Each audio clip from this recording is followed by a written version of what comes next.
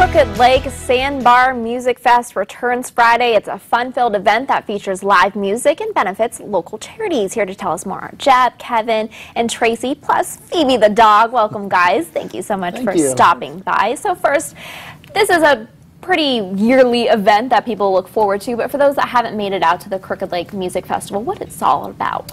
Well, this will be our sixth year. Uh, it is ran all by volunteers. Um, all of the performers volunteer their time and talents.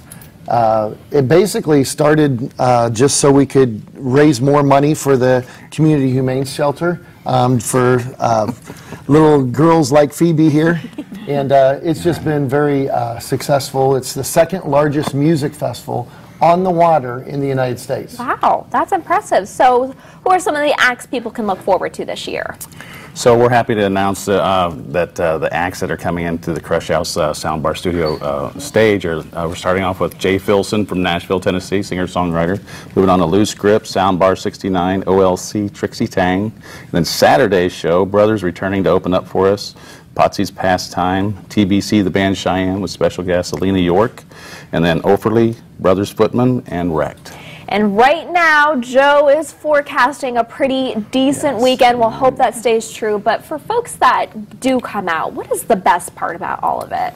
Um, I would say it's just a family event.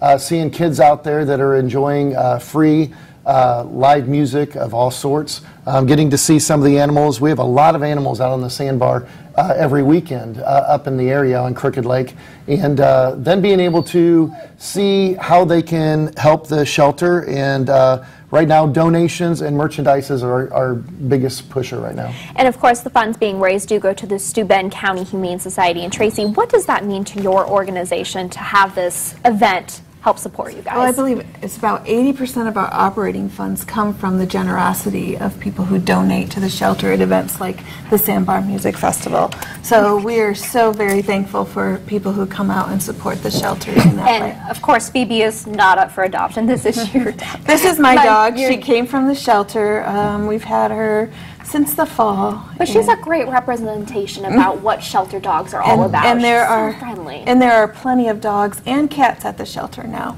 Perfect. Is there any last minute tips, good pieces of advice people should take advantage of to really maximize their experience at this event? Sure. I mean, we appreciate all of our sponsors. Uh, Clear Lake Marina is our title sponsor and has been for the last several years. But all of our sponsors give the donations that are needed to for us to put on the, fes- the festival. But what is needed is you can go to Crooked Lake, Sandbar Music Festival.com. There's a place to sign up to volunteer to help, and there's also a place to uh, click and be able to donate, even if you can't attend. So we just really appreciate people coming behind the community, and especially the Community Humane Shelter, and uh, hope for a great year again this year. All right, Jeb, Kevin, Tracy, and Phoebe, thank you so much for stopping by. Crooked Lake Sandbar Music Fest is June 21st and 22nd. Learn more about at the festival at crookedlakesandbarmusicfest.com.